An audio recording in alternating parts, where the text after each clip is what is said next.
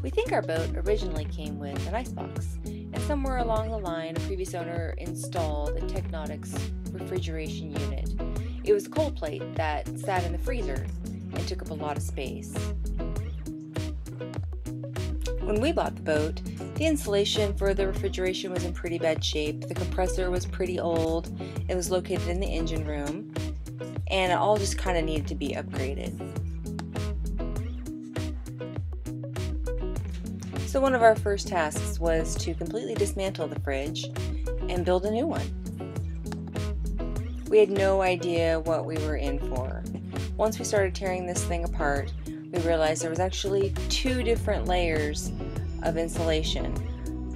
We think the lower insulation was the original insulation for the icebox, and the previous owner, when they installed the Technautics refrigeration unit, they just re-insulated on top of the old insulation.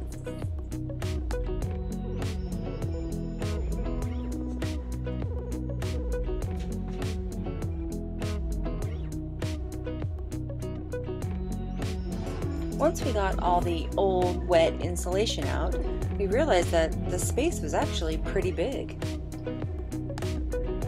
We really had no idea what we were doing, and we kind of just made it up as we went along.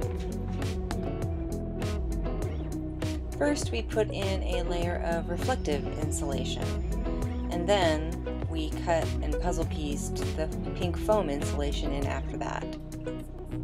All of it was sealed together with expanding foam.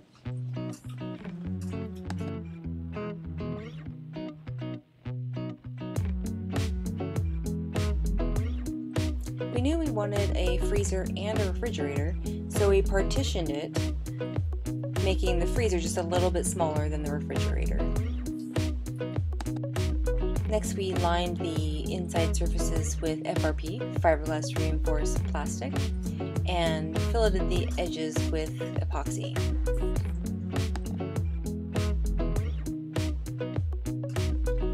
We also thought it would, might be handy to have a front loading door.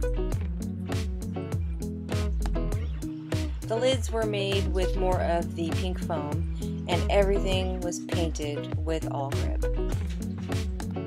We bought a Frigoboat evaporator plate unit with a compressor and it's worked great ever since.